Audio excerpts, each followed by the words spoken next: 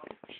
But the Russians must understand that these kinds of, of, of actions and activities are not acceptable, and hopefully we will use the leverage, economic, diplomatic, and others, as united with our allies, with our allies and friends in Europe who are equally disturbed as we are about the recent behavior. Russia is a challenge. Senator O'Donnell? We're winding now, so we can keep track of the time. Well, the resurgence of Russia is one of the central issues that we're going to have to deal with uh, from, uh, in the next presidency. And for the most part, I agree with Senator McCain uh, on many of the steps that have to be taken, but we can't just provide moral support.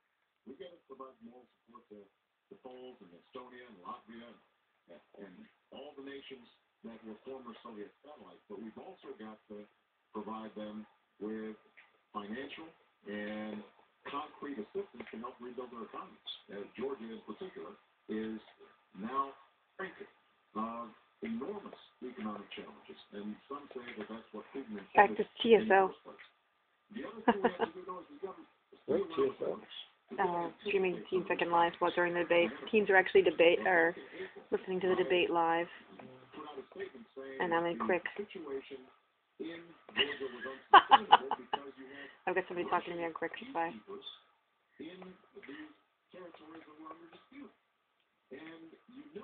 We actually have a see if I can get into it close. We actually have a live Twitter stream also coming into the teen grid. So, and you can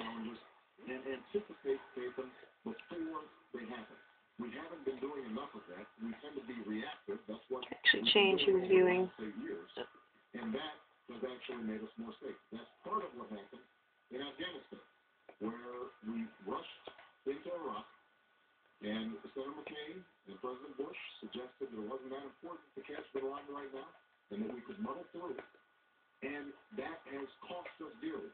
We've got to be much more strategic if we're going to be able to deal with all the challenges that we face out there. And one last point I want to make about Russia energy is going to be key in dealing with Russia. If we can reduce our energy consumption, that reduces the amount of petrodollars that they have that to make mischief around the world. That will strengthen us and weaken them when it comes to issues like Georgia. This requires only a yes or no. Ronald Reagan famously said that the Soviet Union was an evil empire. Do you think that Russia under Vladimir Putin is an evil empire? I think they've engaged in evil behavior, and I think that it is important that we understand they're not the old Soviet Union, but they still have nationalist, uh, you know, the influence that I think are very dangerous. Senator McCain? Oh. to, to Russia depends on a lot of things. Uh, if I say yes, then that means that they're reigniting the old Cold War. Uh, if I say no, it ignores their behavior. Uh, obviously, uh, energy is going to be a big, big factor and Georgia and Ukraine are both major gateways of energy into Europe, and that's one of the reasons why it's in our interest.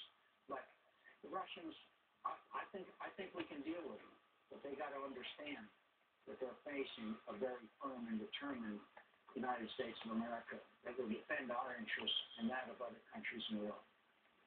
All right, we're going to try to get in two more questions so we have move on. Uh, over in question A, Terry Shirey. Do I have that right, Terry?